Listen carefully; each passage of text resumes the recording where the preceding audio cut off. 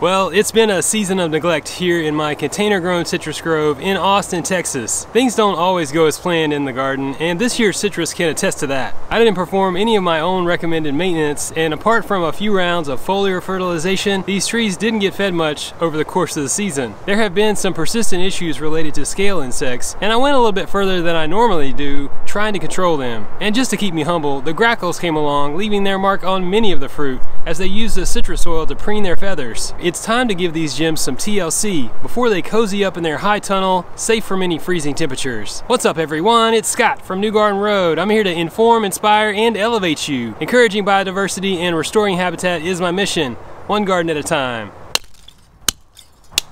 So harvest time is always the peak of citrus season, and that comes throughout the year. One of the highlights for me this year has been the Sato Mandarin. I potted this tree up at the beginning of summer, and it grew really well throughout the season. And I have a really unique variety of blood orange. I'm not even going to try to pronounce it, honestly. I'll put the name of it on the screen, and you can decide for yourself however you say that, but I can tell you one thing. This is a delicious fruit. Super mild, and when you slice this open, it's not a dark red, but more of a light pink color truly unique and one of my favorite specimens overall. My ruby red grapefruit is one of the most beautiful specimens in my collection and it did set some fruit this year. I think that from a lack of regular fertilization, these fruit just didn't size up that well. However, they're very tasty. Just because this is not a giant ruby red grapefruit doesn't mean it's not quality flavor. Some of the heaviest producers in my collection are the kumquats, along with the calamondin or calamansi and the key limes. All of these trees bear smaller fruit and they'll do so several times a year. On average, two to two and a half times a year I'm going to be harvesting. And I can show you here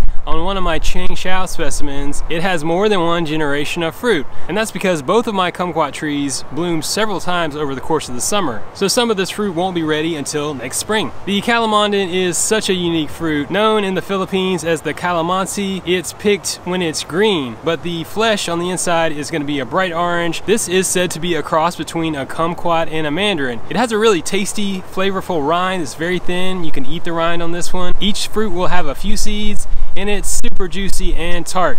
If you like sour fruit, you're probably gonna love these. It's just like candy. You can graze on them in the garden. It's really a conversation starter when you bite into one of these because the flavor just explodes in your mouth and it's super sour. I love the flavor of these key limes. I use them in beverages and to top different dishes. One thing to note about limes in general is you wanna wait until they actually turn yellow. You know, we think of limes as green and the flesh is a light green color, but when you harvest them, you wanna wait until they have some yellow coloration. That's gonna be the peak of their sweetness. And that's a great segue for highlighting my Persian lime. I mean, these fruit are so big and juicy, very sweet, and they don't have seeds. This has been one of the most abundant producers in my collection.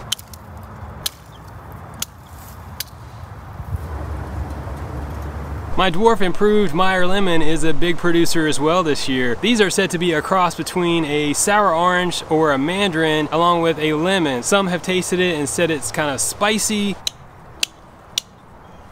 My Lisbon lemon is one of the larger trees in the collection and it's a little bit unruly. It requires some pruning seasonally just so I can fit it in the high tunnel greenhouse a little bit easier. Honestly, it's a tree that would get quite large if I planted it in the ground, but due to its lack of cold hardiness, I choose to continue and grow it in a container just so I can offer it some protection. Most of these trees get moved around on a dolly that's really handy and easy for moving them in and out of structures or inside of a house.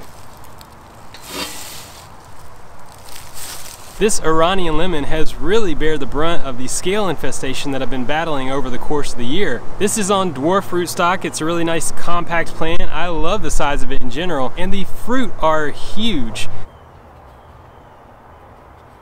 How about my Ujukitsu lemon? This is nicknamed the lemonade fruit. It really tastes like lemonade. It's not as tart as some other lemons. It has a unique shape and a little bit bumpy texture on the rind.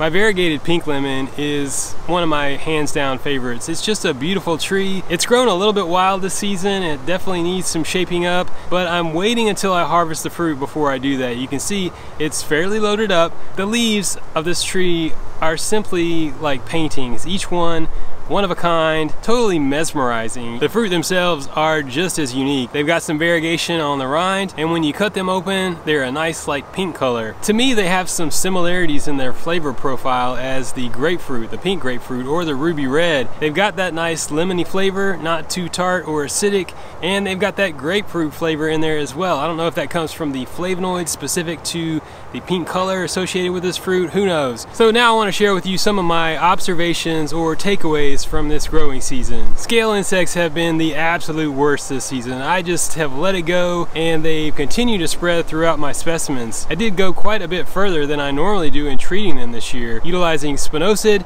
and insecticidal soap. One of the reasons these scale are so tough to control is because they have this waxy coating and they're not really susceptible to a lot of sprays or other controls. Oftentimes, physical removal is the best course of action, but what do you do if you've got it widespread or if you have some really large trees? You know, most of mine are pretty small and manageable, but I understand if you've got a tree that's 15, 20 feet tall and it's infested with scale, how do you treat for that practically? So you might consider a foliar application. I really did several rounds of this, probably every three days for two weeks, just to really try to knock back that population. One of the things that I really wanted to do in tandem with that was blast them off with a strong blast of water. That can help to remove the insects themselves, and I think that would make them more vulnerable to a repeat application with the spinosad and insecticidal soap. So I'm gonna do it. I'm gonna break out my bug blaster and put it on the end of my watering wand and show you exactly what I'm talking about.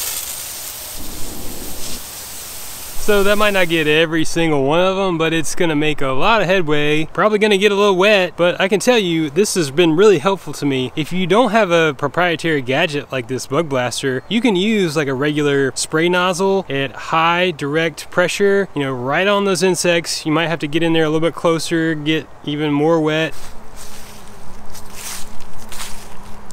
Huh part of my philosophy that intervenes here is that there's a balance in nature and I will often see beneficial or predatory insects on my citrus trees. I know a lot of these insects are only going to do so much so there's a balance and I'm part of that balance in my organic garden. When I see certain cycles or populations of beneficial insects I'll hold off on applying any insecticides or even trying to blast things off with water. Many times over the course of fall and winter, I'll get questions regarding yellowing leaves on citrus trees. Don't be surprised if you see some yellowing leaves. You need to investigate and see if there are watering issues or pest related issues, but oftentimes you need to consider as the days get shorter, these trees don't need as many leaves in order to conduct photosynthesis, so they're going to shut some of them down. And they'll put on new growth as things begin to warm up in the spring. So the boat-tailed grackle is one of the common, you know, non-native species of birds here in the Austin area. And at a certain point in the summer,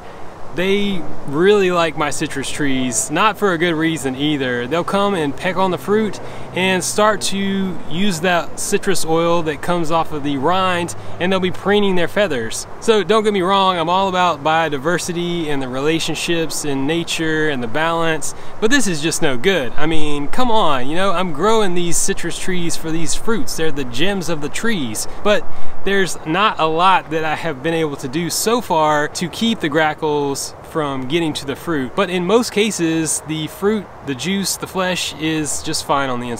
And one of the last observations I want to share with you is my Bloomsweet grapefruit. This is my only citrus tree planted in the ground and it's been about 10 years since I got it established. It's been through several hard freezes. The cold weather last February was completely ridiculous, but somehow, someway, I was able to get this tree through. And at the point I've got it right now, it's pruned up in an extreme way, but my goal was to encourage a nice canopy and something that would be easier to maintain over the long run. So I want to wrap up my update here talking about some of the winter preparations that I'll be doing for my citrus trees. Number one is I don't really want to feed them too much going into this portion of the season. They're not really going to go dormant, but I also don't want to promote a lot of vigorous growth because in the event that we get cold temperatures, even though I protect them, that could leave them vulnerable to some stress. That new growth is going to be really tender. I'm just going to let them lay low And the thing that I will be adding will be compost. I love the Happy Frog soil conditioner. Generally what I like to do is remove any mulch that I have in my containers or around the base of my tree and add a nice layer of this compost. Just set it on top,